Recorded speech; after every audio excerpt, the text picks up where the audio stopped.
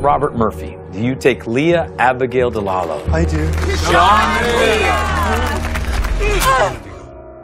Hey. Oh, I'm hurt. Lim. Code Silver. Code Silver. Shaun, you cannot go down there. Dr. Lim, they need my help. There's no way out of here. No!